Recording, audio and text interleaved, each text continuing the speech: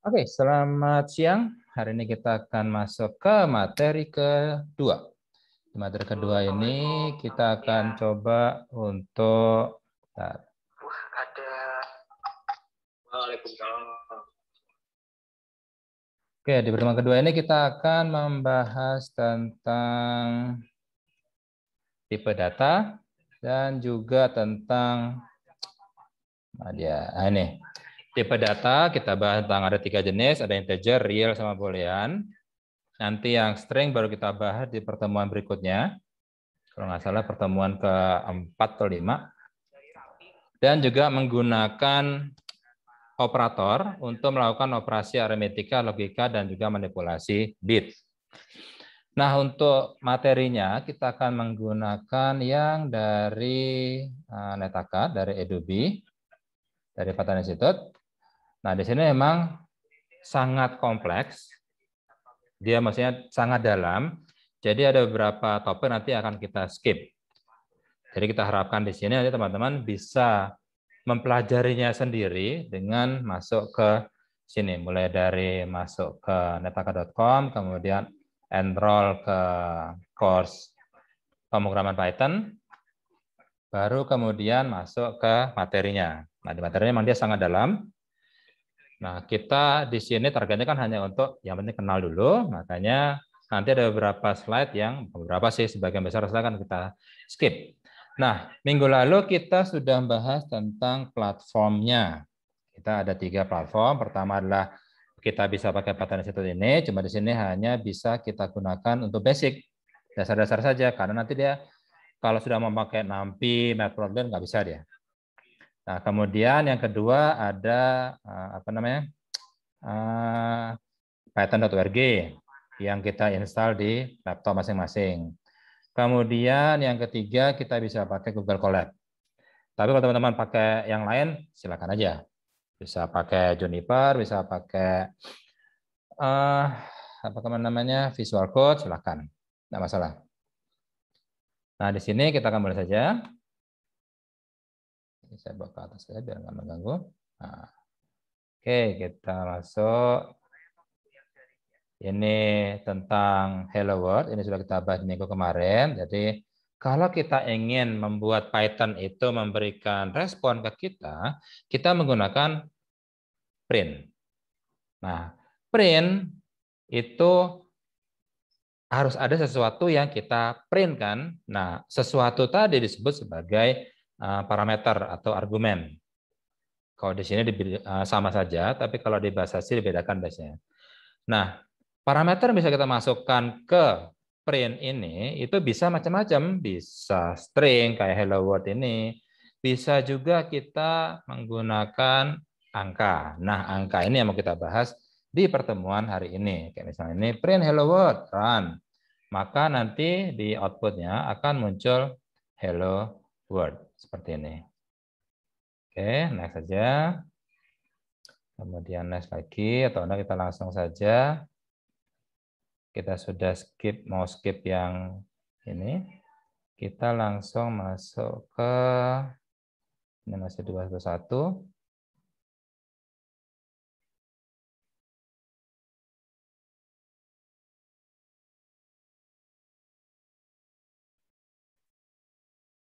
Back, kemudian 21, pattern literal, nah arithmetic Nah, kita masuk ke yang 2.2 dulu.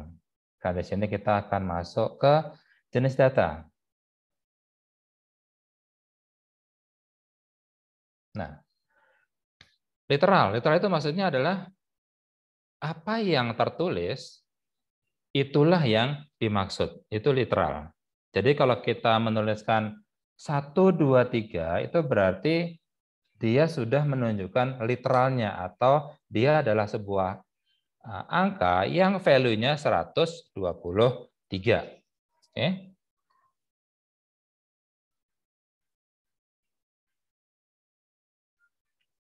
Nah, contoh seperti ini misalnya. Saya print 2 dan print 2. Kalau saya run, maka dia akan muncul 2 dan 2. Hanya saja, dua yang pertama ini dia adalah string. Tapi dua yang kedua dia adalah sebuah angka atau integer. Oke. Nah, sekarang next lagi. Nah, bilangan integer, teman-teman pasti sudah paham ya.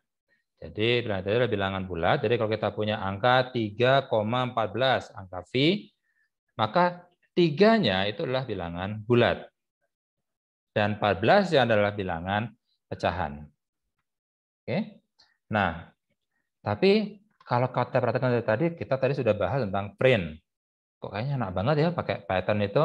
Kalau kita pakai Python itu kayaknya tinggal ketik perintahnya, kemudian run. Nah, ini yang berbeda, membedakan Python dengan C. Kalau bahasa C, maka untuk bisa menggunakan bahasa C atau mengeran bahasa C, pertama kita harus apa? Uh, maka kita harus mencoba untuk menjalankan eh, program terlebih dahulu dengan cara melakukan proses yang disebut sebagai compile. Oke.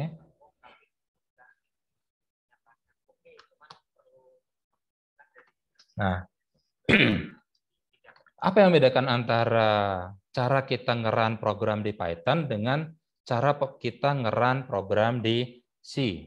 Nah, kalau di Python kita tinggal ketik uh, snippetnya atau scriptnya, kemudian kita run. Langsung kita bisa melihat responnya seperti apa. Tapi kalau di bahasa C, sebelum kita bisa mencoba programnya, maka program tadi itu harus kita compile terlebih dahulu. Nah, setelah kita compile, baru bisa kita jalankan atau run programnya. Contoh seperti ini. Misalnya saya membuat sebuah program sederhana dengan bahasa C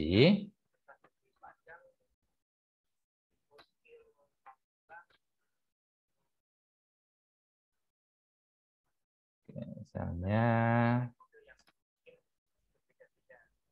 program .c. Ya, kemudian teman-teman masih ingat kan ya?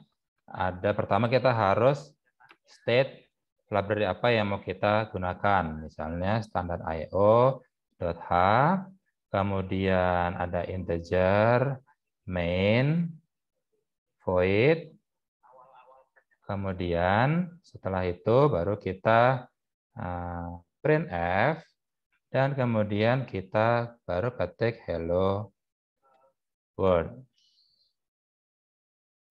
Dan jangan lupa titik koma, enter, dan kemudian return zero, karena fungsi mainnya dia membutuhkan return value karena dia ada integer depan int.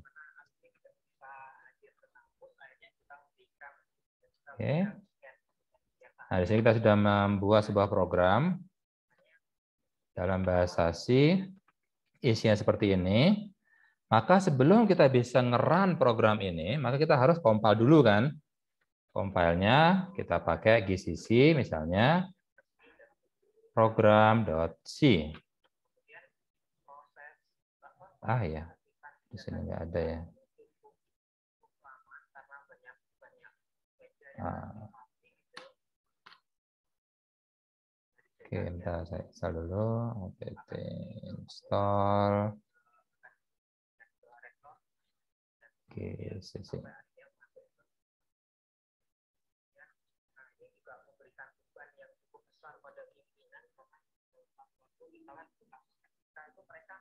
Oke, sambil nunggu kita snack dulu.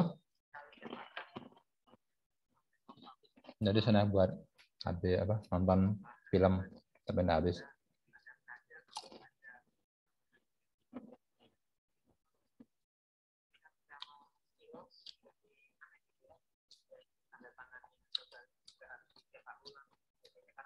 Setelah berapa bulan ya? Per, udah tiga bulan ya kayak baru selesai nonton yang apa? Justice League Jack Snyder itu yang empat jam.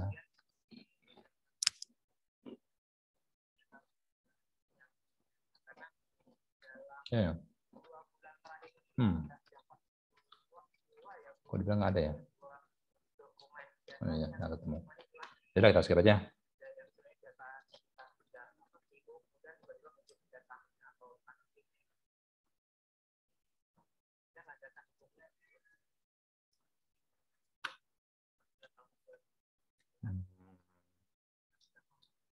Kita coba yang lain. Kita pakai ini aja.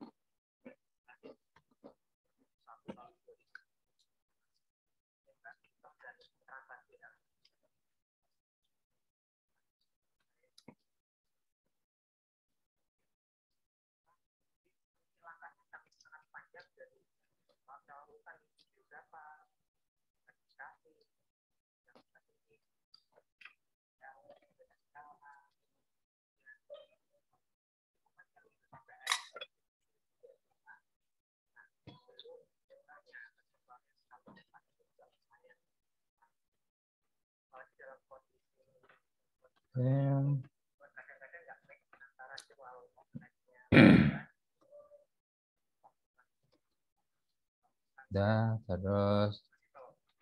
Oke. Kita coba ulang lagi ya. Hmm, program.c. Kemudian include standard io.h. Kemudian integer main void Kemudian printf hello world.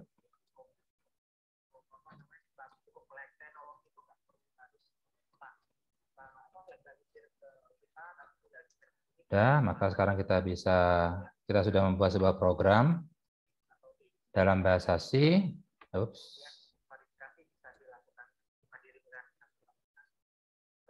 Seperti ini, isinya adalah statement penggunaan library standard I.O., kemudian deklarasi main function, dan isinya hanya untuk ngeprint hello world. Oke. GCC program kayaknya ada di sini. Ya. Oke, sudah ada a.out, kita jalankan a.out. Nah, maka dia akan langsung ngeprint hello world. Nah, itu adalah proses yang kita harus lalui kalau kita menggunakan bahasa C scriptnya kita bikin dulu, kemudian kita compile untuk membuat dia menjadi executable, baru kita bisa run. Maka pada saat kita mau ngeran program bahasa C, kita harus tahu dulu target platformnya apa. Misalnya di sini kita pakai uh, Unix FreeBSD. Oh berarti nanti compilernya pakai GCC. Terus oh uh, target platformnya adalah Windows. Oh, kelompok Windows, berarti nanti compilernya nggak bisa pakai GCC, harusnya pakai yang Borland, seperti itu misalnya. Nanti baru bisa di run. Setelah selesai dari compile, dia jadi executable, kayak misalnya sini a.out, baru bisa dijalankan. Tapi kalau di Python, kita tulis programnya, terus ya udah langsung jalan, seperti ini. Ya, itu kelebihan dari uh, Python. Nah, kalau di C, kita bilangnya untuk bisa ngeran program, kita harus mengcompile-nya terlebih dahulu. Oke, tapi di Python dia bisa langsung di run karena dia menggunakan yang namanya interpreter. Nah, interpreter ini nanti yang langsung menerjemahkan uh, print hello world. Oh, print, maka dia langsung uh, menjalankan programnya langsung tanpa perlu compile karena dia menggunakan interpreter. Oke, itu sedikit uh, interview, eh kok interview, preview perbandingan antara Python sama C. Oke, lanjut lagi ya. Ini tentang kembali lagi ke data type yang bilangan bulat. Nah, di bilangan bulat ini kita skip aja. Ini hanya untuk penulisan bilangan apa oktal yang desimal. Nah, sekarang kita masuk ke bilangan pecahan. Tadi kan kalau 3,14, tiganya bulat, 14-nya adalah pecahan. Tapi kalau kita tulis cuma 14, dia nanti jadi mikirnya, oh ini bilangan bulat. Nah, gimana cara kita membedakan uh, ini pecahan ya gitu. Nah, caranya adalah dengan menuliskan titik di depannya seperti ini. Nah, begitu kita kasih titik, maka Python akan tahu, oh ini bilangan pecahan. Tapi kalau misalnya 3,1 atau 3,0, maka kita tulisnya seperti ini, 4 titik sekian. Oke, ini bilangan pecahan. Nah, jadi seperti ini 4 dan 4.0. 4 itu berarti bilangan bulat. 4.0 sebenarnya nilainya juga sama 4, tapi dia ditulis dalam format bilangan pecahan. Oke. Nah, ini nanti membedakan juga antara uh, Python sama C. Kita coba aja.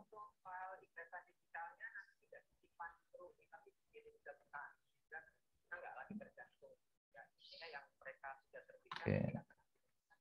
Kita mas eh, kita jalankan di sini aja. Idle. Oke, kita jawab dulu ya tadi ya. Kita bilang bacaan sama sudah ini. Sudah masuk ke string. Nah, oke. Kita coba di sini. Misalnya kita masukkan A sama dengan 4 maka dia akan langsung membuat sebuah memori dengan nama variabel A dan di value-nya diisi dengan nilai 4. Oke. Dan kemudian B 4.0 enter. Maka dia akan langsung membuat sebuah variabel namanya B, value-nya adalah 4.0. Nah, kalau misalnya kita ingin jumlahkan, gampang sih, tinggal C sama dengan A tambah B. Enter. Maka dia akan langsung membuat satu lagi variabel baru namanya C yang value-nya adalah value A ditambah value B, yaitu 4 tambah 4.0. Kita coba saja. Print A. Enter. 4 print B 4.0 print C. 8.0 berarti bisa kita simpulkan di sini kalau kita menggunakan Python kita nggak perlu lagi memikirkan tentang ini apa ditambah apa gitu. Kayak misalnya di bahasa C kita nggak bisa jumlahin bilangan bulat sama bilangan pecahan kalau resultnya itu tipenya adalah bilangan bulat. Kayak misalnya di sini, kalau C tipenya adalah bilangan integer, maka dia akan langsung error. Oh, enggak bisa. Saya C, saya sudah dideklarasikan hanya boleh menyimpan bilangan bulat. Anda memberikan saya bilangan pecahan, karena 8.0 adalah bilangan pecahan. Error dia nggak mau. Tapi di Python, dia asik-asik aja. Nah, sini masuk angkanya. Sepanjang dia angka, dia bisa masuk. Oke, itu sedikit kelebihan dari Python. Jadi kita nggak perlu mikirin tentang jenis datanya lagi yang digunakan untuk menampung data. Oke.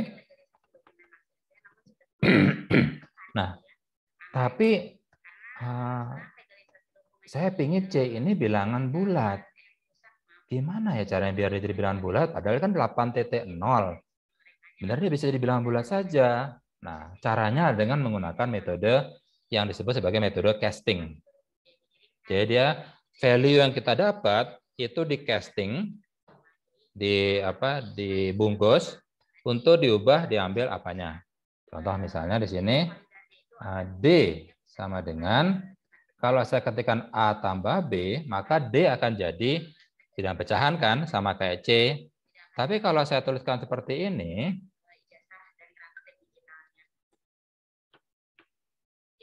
maka pada saat saya print D, dia jadi cuma 8. Itu karena pertama dia akan menjumlahkan A tambah B. Hasilnya 8.0, pecahan. Tapi dia di casting oleh integer INT. Sehingga 8.0 itu dia menjadi 8-nya saja yang diambil. Hmm, menarik ini. Kalau masukkan 8.0, iya dia tinggal ngambil 8-nya aja. Tapi kalau bukan 8.0, misalnya 8.1 misalnya. Oke, kita coba aja. Sekarang misalnya E sama dengan integer 8.8 misalnya. Kita coba ya, bentar. Oh, nggak error nih. Kita coba print E. Enter. Oh, ternyata casting INT ini dia hanya mengambil bilangan bulatnya saja. Jadi meskipun 8.8, dia ngambil 8-nya saja. Jadi kalau misalnya apa?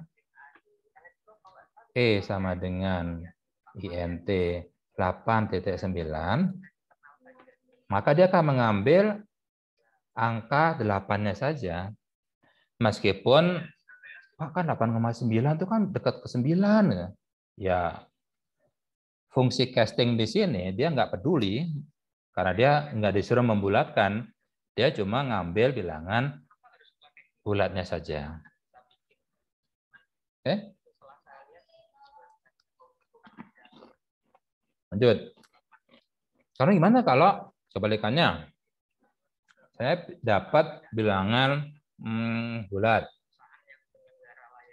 Saya ingin saya ubah jadi bilangan pecahan. Nah, berarti ya mirip kayak tadi. Misalnya F sama dengan bukan pakai int tapi pakai float. Misalnya 8. Atau kalau enggak kita langsung aja ya biar cepat ya. Langsung aja print float 8 biar langsung keluar. Oh, 8.0 jadinya. Berarti dia dijadikan bilangan pecahan. Masuknya 8, hmm, 8. Berarti kalau saya bikin pecahan jadi 8.0. Sederhana. Tapi gimana kalau misalnya print float 8.1.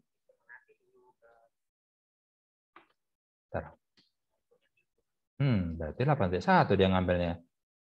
Ya sama aja ya, benar kan? masuknya pecahan, disuruh ngubah ke pecahan, ya dia nggak ngapain jadinya.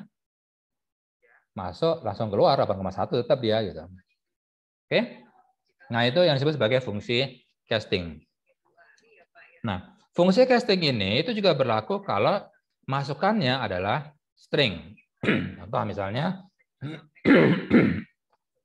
input ya maaf. Nah, misalnya A sama dengan input. Nah, kalau kita sudah belajar kan, input ini adalah cara kita bisa memasukkan data ke Python. Cuma data yang kita masukkan itu pasti dalam bentuk string, bukan bilangan. Sekarang kita coba. A sama dengan input. Oke. Dia nanya, masukannya apa? Kita masukkan misalnya 5. Dah. Kemudian print A. Tulis 5. Cuma masalahnya 5 di sini dia bukan angka, tapi dia adalah string. Makanya kalau kita misalnya print, kita coba concat value A sama dengan kemudian tambah A, karena kita ingin mengconcat, tambah itu kan tadi fungsinya concat kan, gabungin dua buah string jadi satu, maka dia akan menuliskan value A sama dengan 5. Bisa dia karena A-nya adalah string. Tapi kalau kita nuliskan misalnya print value B sama dengan plus B. Enter, error ya. Kenapa error? Karena B bukan string. B tadi kan 4.0 kan? Dia bilangan float bilangan nggak bisa kita concat dengan string. Karena dia sudah beda dunia. Nah, caranya ya berarti B tadi itu harus kita uh, casting dulu. Misalnya value B sama dengan tambah. Nah, baru sekarang kita masukkan uh,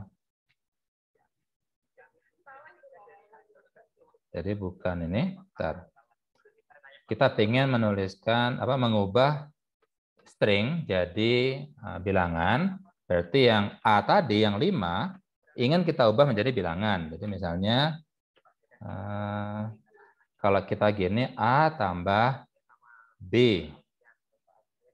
Berarti kita ingin menjumlahkan A tambah B dan print hasilnya. Error. Kenapa? Soalnya A adalah string. B-nya memang angka, tapi A-nya string. Nggak bisa saya jumlahin string sama angka.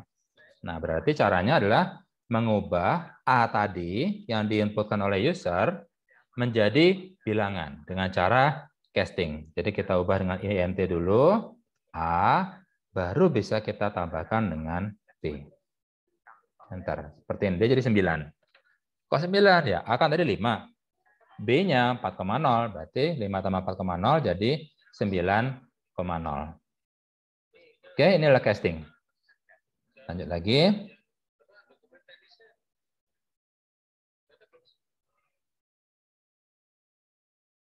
String kita skip dulu.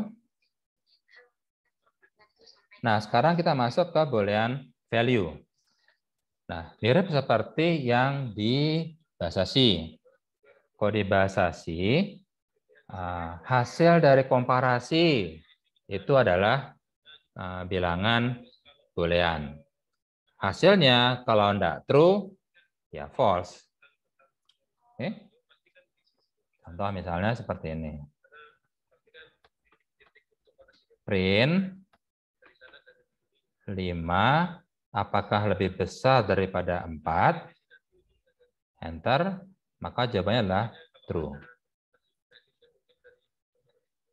Print apakah 5 lebih besar sama dengan 5? Jawabannya adalah true.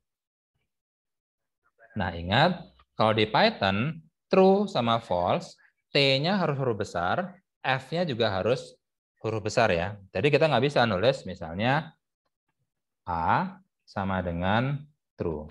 Ini nggak bisa. Tapi harus A sama dengan true.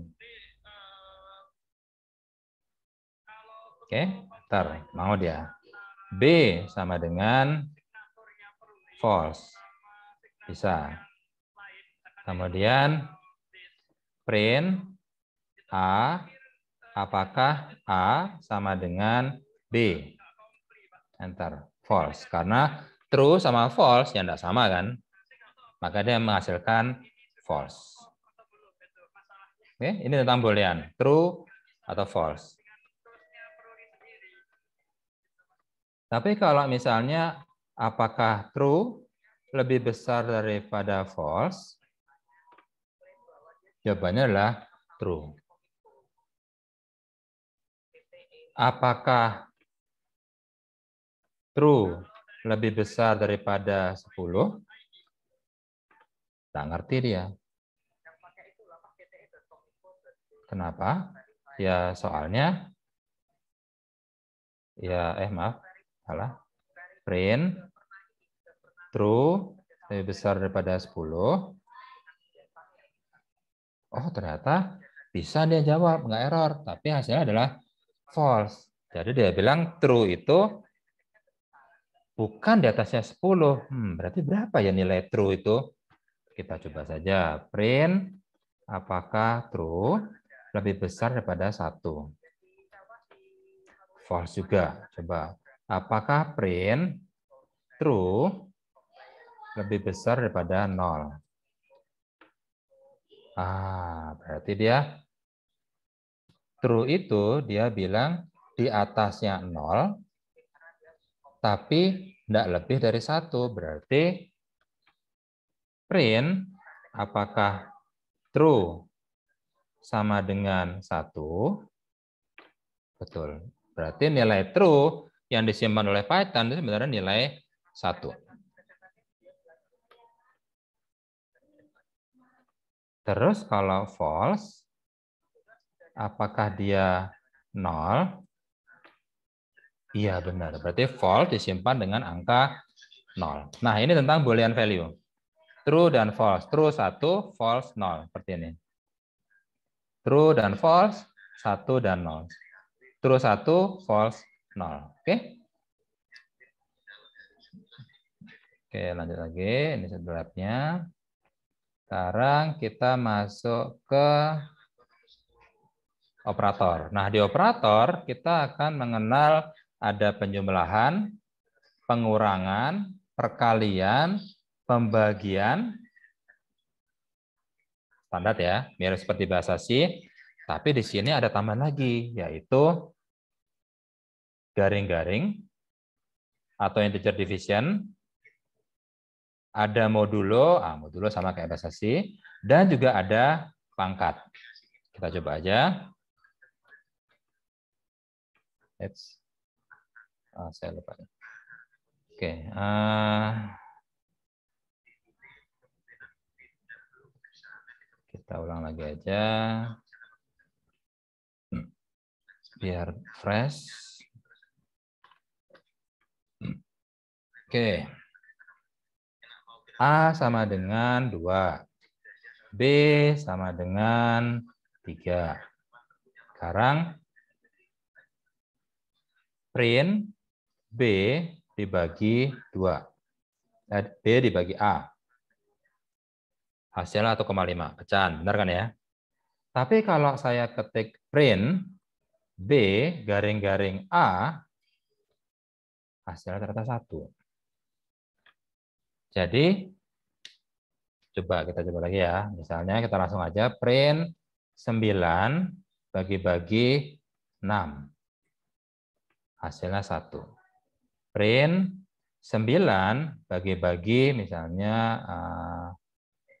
4. Eh,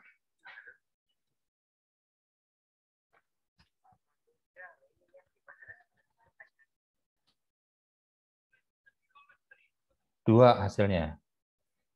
Nah, berarti garing-garing itu disebut sebagai pembagian juga, tapi pembagiannya itu hasilnya hanya mengambil bilangan bulatnya saja. Berarti dia seakan-akan kebalikannya dari modulo yang pakai persen tadi. Kalau modulo kan sisa pembagiannya. Nah, garing-garing dia adalah integer division. Hanya mengambil pembagiannya yang bilangan bulat. Contoh misalnya 9 dibagi 4 itu kan 2,25 kan? Tapi kalau kita gunakan print 9 garing-garing 4, dia hanya mengambil bulatnya saja. Dan kalau 9 persen 4, dia mengambil sisanya, yaitu 1. Kan 9 dikurangi 4, 5. Dikurangi 4 lagi, sisanya jadi tinggal 1. Nah, 1 itu yang ditulis sebagai modulo. Oke, paham ya? Nah, lanjut lagi sekarang yang pangkat. Print 2, eh, bintang-bintang 3. Berapa dia? 8. Karena 2 pangkat 3 sama dengan 8. Terus kalau misalnya print 2 pangkat-pangkat 3.0 sekarang. Jadi 3 ini kita bikin pakai bilangan pecahan. 8 juga, tapi hasilnya ada 8.0. Coba print sekarang 2.0 bintang-bintang 3. 8.0. Print 2.0 bintang-bintang 3.0. 8.0 juga sama. Nah, karena pangkat ini sebenarnya ya masih saudaraan sama akar, kita jadi bisa menggunakan fungsi ini untuk menghitung akar. Misalnya print, saya pengen tahu akar pangkat 2 dari 25 itu berapa ya? Berarti 25 pagar, pagar apa bintang-bintang. Nah, bilangannya adalah 0,5 berarti pangkat setengah. Ingat kan pangkat setengah itu sama dengan akar pangkat 2 sebenarnya. Hasilnya adalah 5.0.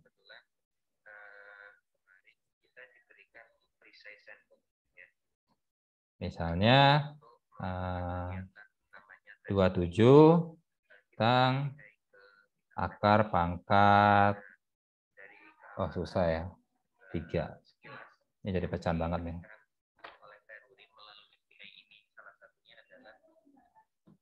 Oke. Monggo, kalau ada pertanyaan dulu.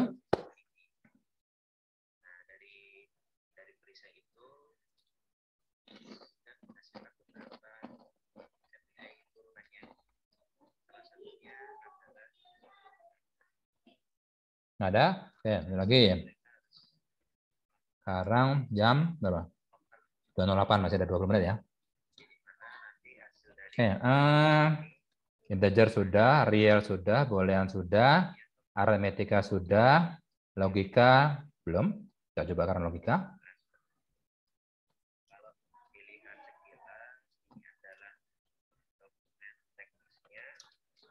Logika, misalnya Ya tadi udah ya. Cuma menggunakan yang operator tapi belum ya. Oke. Kita lanjut lagi ini.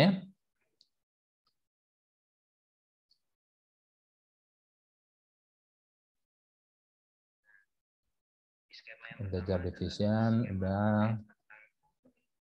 reminder atau modulo sudah. Penjumlahan salah. kemudian modulo. Nah terus sekarang adalah Eh, prioritas dari operator. Sama seperti C, prioritas paling tinggi adalah binary. Jadi kalau ada plus atau strip di depan angka, maka dia harus kerjakan terlebih dahulu untuk menunjukkan dia bilangan positif atau bilangan negatif. Kemudian pangkat peringkat dua paling tinggi. Kemudian baru tambah eh apa kali bagi division dan modulo. Baru paling rendah adalah tambah dan kurang. Jadi kalau kita misalnya punya uh, ekspresi seperti ini, expression misalnya 2 tambah 3 kali hmm, kali 2 kemudian angkat uh, Dua misalnya. Berapa angkanya? Karena dia pangkat adalah paling tinggi, maka dua pangkat dua terlebih dahulu dilakukan. Dua pangkat dua adalah empat. Baru kemudian dikalikan tiga dari dua belas, baru ditambahin dua. Jadi hasilnya adalah empat belas. Oke, tapi memang dalam bahasa pemrograman kita ya jangan sok-sokan lah men-challenge orang yang baca dengan cara seperti ini, tapi sebaiknya ya kita berikan kurungnya juga. Jadi akan lebih enak kalau kita memberikannya seperti ini. 2 tambah 3 kali 2 pagar-pagar 2. Nah, kita kasih aja. Ini dikerjain dulu ya, 2 pangkat 2-nya. Ini bisa digabung aja biar nggak terlalu rame. Baru setelah itu ini. Nah, terakhir baru tambah sama dua. Nah, lebih enak kalau kita menggunakan seperti ini. Ya. Ini tentang prioritas atau peringkat dari operator. Oke, lanjut lagi.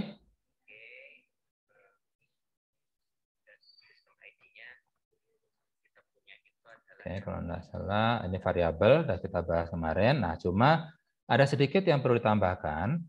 Pada saat kita ingin membuat variabel, ternyata penamaan variabel di Python itu ada aturannya.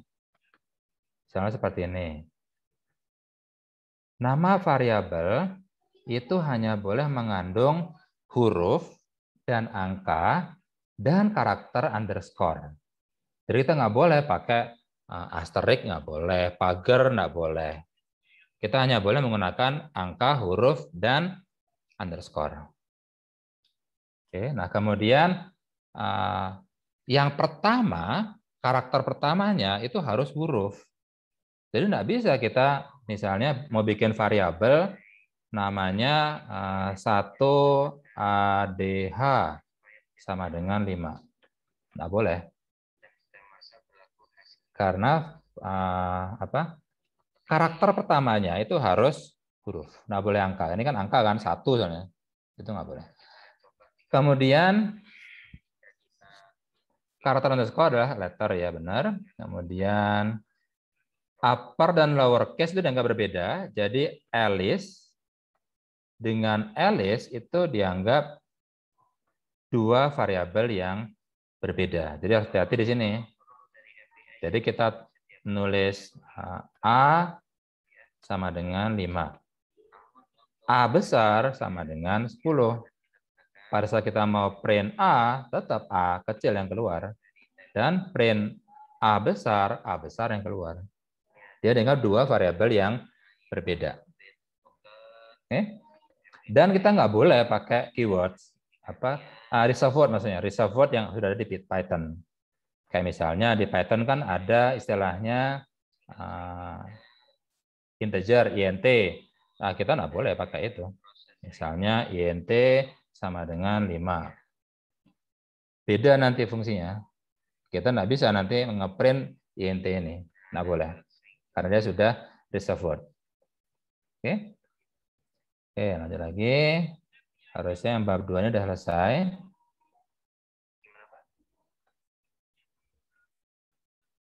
Ini variabel. Terus komen belum kita masuk. Terus input dan string. Nah ini baru kita bahas minggu depan.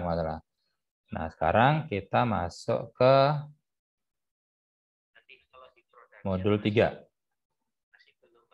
Nah modul 3 ini baru kita masuk ke comparison.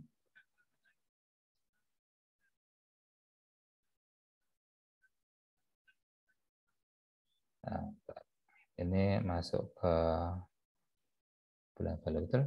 Kalau untuk pokoknya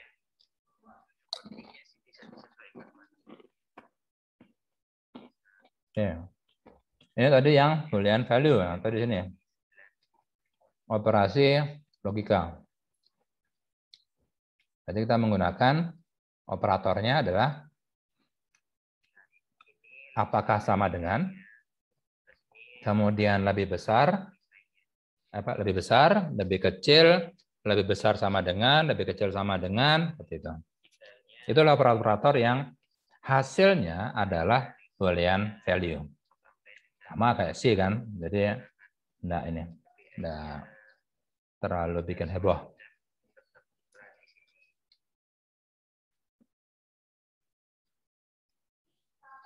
Oh ya, not equal pakai tanda pentung. Kalau tadi equal kan dia pakai sama dengan sama dengan. Oke, kita coba aja.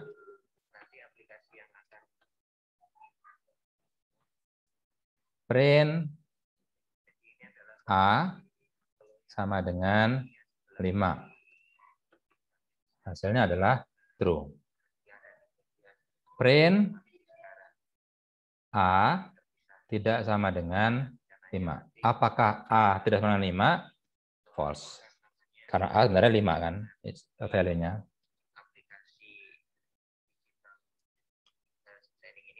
Oke, lanjut lagi ya. Terus lebih besar, lebih kecil. Teman-teman sudah paham lah kalau ini kan sama persis seperti yang ada di bahasa C kan.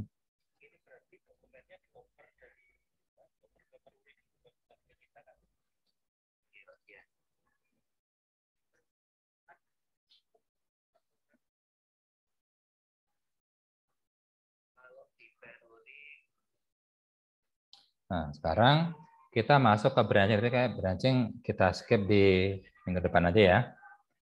Harusnya sih hari, hari ini juga, cuma kok kayaknya enak branching itu minggu depan sekalian sama loopingnya. Nah, berarti kita sudah membahas tentang bilang integer, real, dan boolean, dan operasi aritmetika, logika, dan manipulasi bit. Manipulasi bitnya belum. Kita coba sekarang manipulasi bit.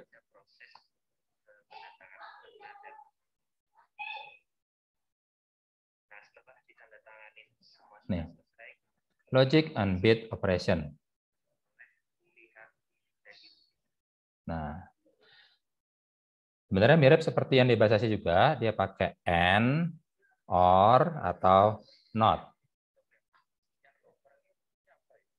Seperti ini.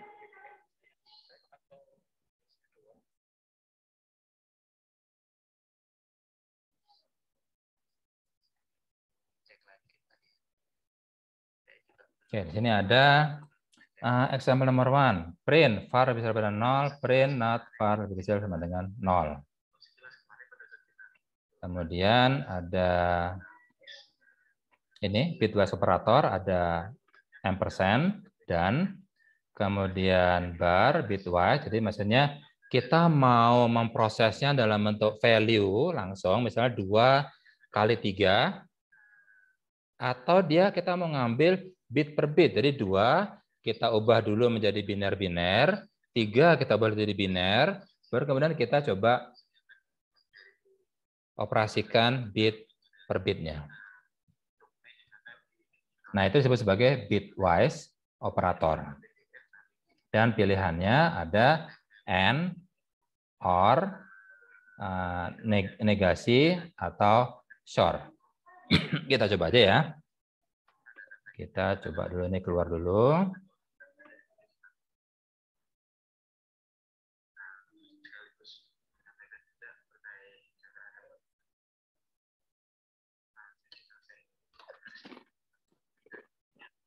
Ya.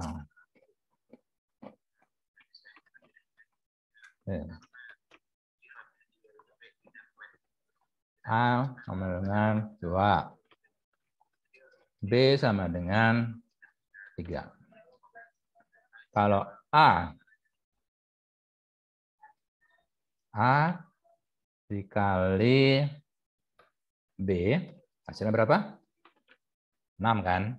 Tapi kalau kita pakai yang bitwise A, kemudian N, B, hasilnya 2. Kok bisa? Kita coba aja.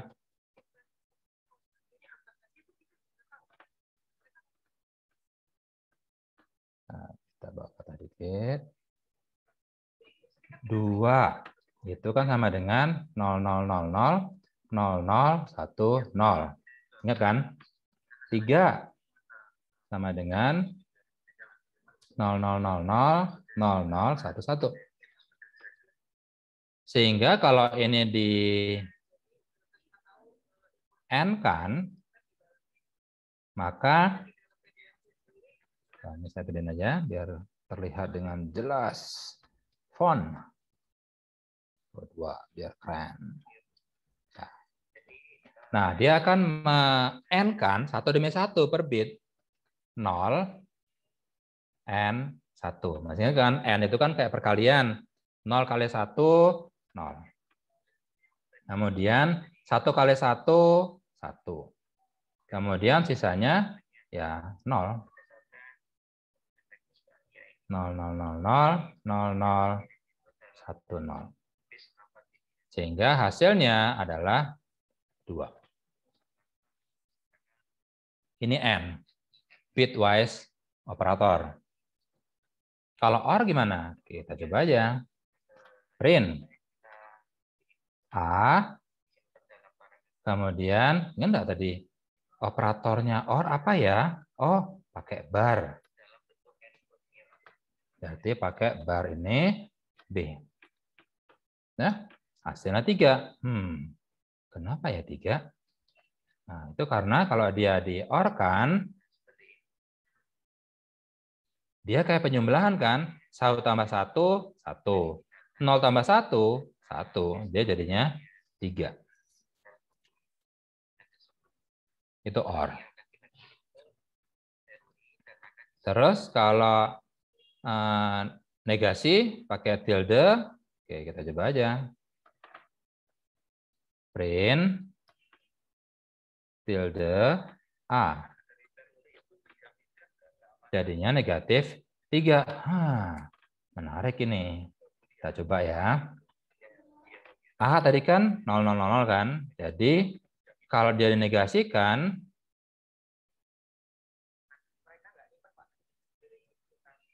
jadi jadinya 1, 1, 1, 1. Nah, ini kita samain aja. Nah ini. Dan ini 1, 1, 0, 1.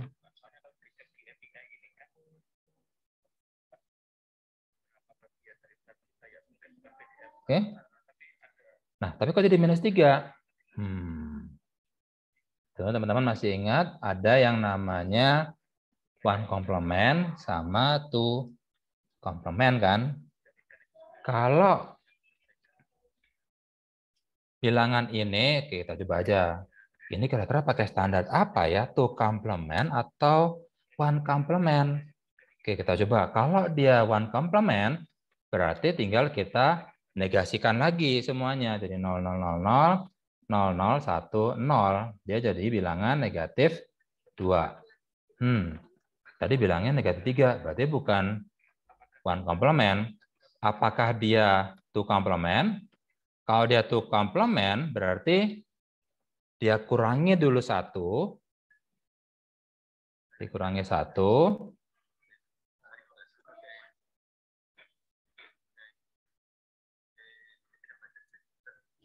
Dia jadi satu satu satu satu satu nol nol.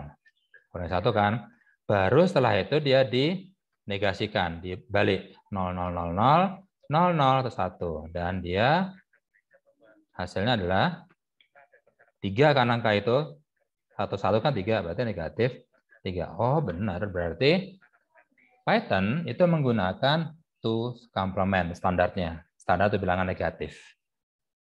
Oke, ini untuk yang negasi. Kalau SOR, nah bisa coba dulu lah. Oke.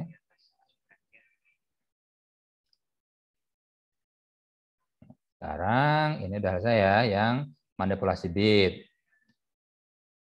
Jadi tadi ada and, or, nah, apa negasi atau not, dan juga SOR. Tapi dia ingat, dia memang kayak perkalian dan penyumlahan dan pembalikan, tapi dia bitwise. Jadi bit per bit yang dia proses. Bukan value secara keseluruhan. Dua kali tiga, enggak gitu. Tapi dia per bit. Oke. Baik, kayaknya itu aja. Nah, sebelum kita akhiri, kita coba lihat yang week one assignment. Kita coba untuk ini ya, kita coba untuk review. Jadi sudah saya share uh, collab saya. Teman-teman bisa mencobanya sendiri.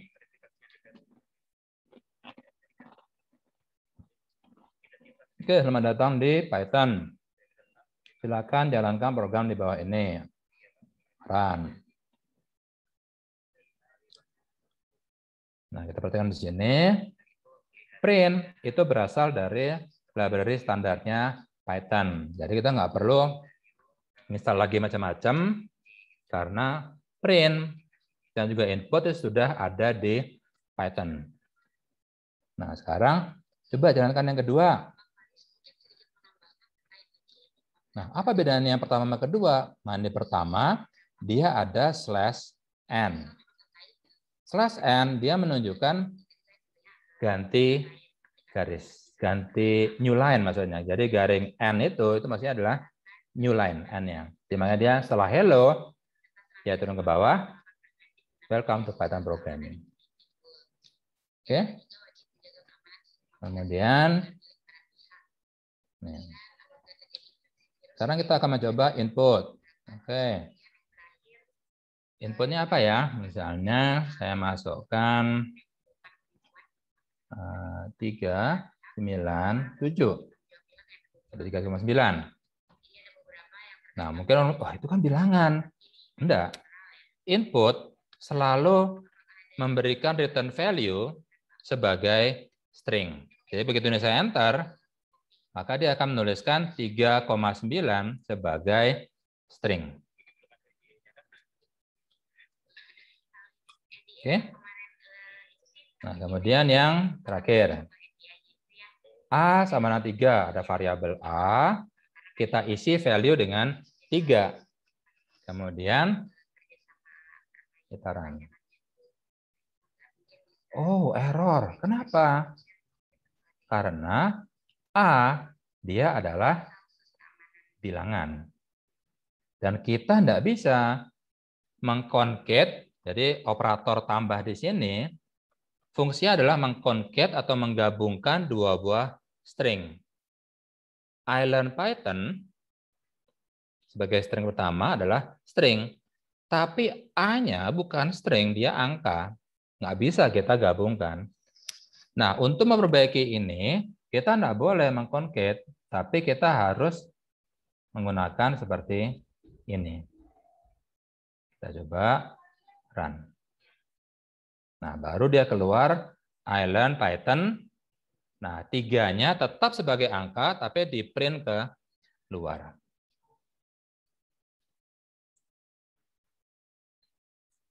Oke, jadi yang tambah tadi fungsinya adalah mengkonket atau menggabungkan dua buah string.